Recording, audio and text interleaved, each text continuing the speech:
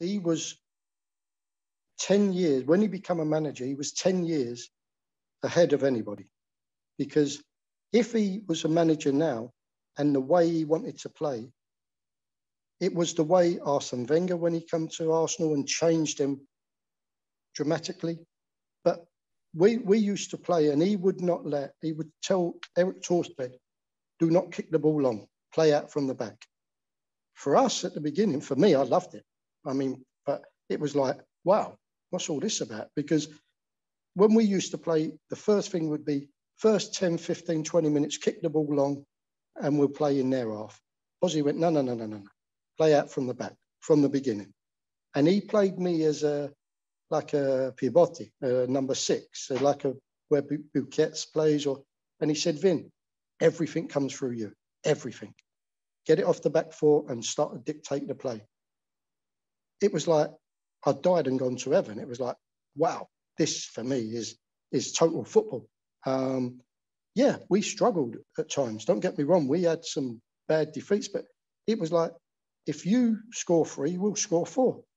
Um, so yeah, we we we we got exposed a lot of the time, but his way of thinking was just so far ahead of of the times when the Premier League or um, was obviously just pure force and strength. Um, so, but he stuck to his principles and he would never change. And this is what I, I respect about the man. It was like it was a, it was just fantastic to play for him. Not just the way he played, but the way he spoke to people.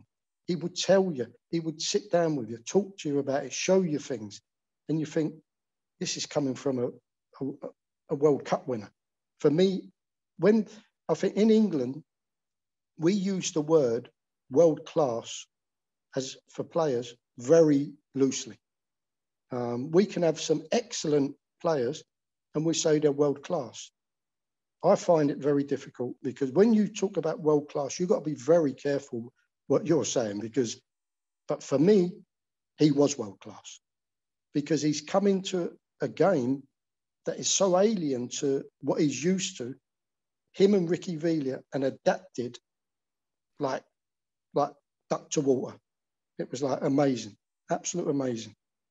What, what I mean, Kim, I, I know that you're pointing out that we've missed a coach because I mean, when, when Guardiola came to England, having won copious trophies at Barcelona and and I mean, he was still people still.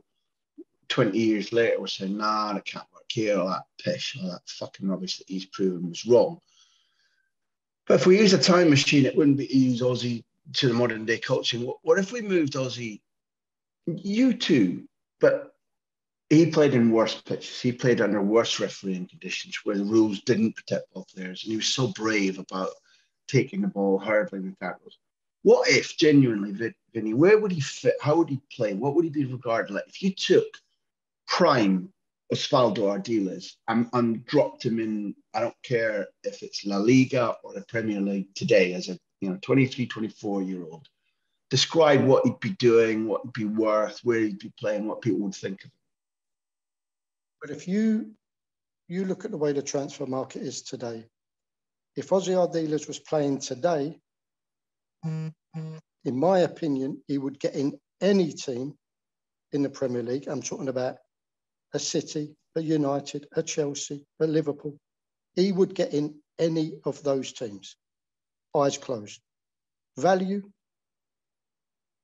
you've got to be looking at 100 million because don't get me wrong, the only two centre midfield players who I've had the privilege to watch a lot and play against, who I believe are better than him, was Xavi Iniesta.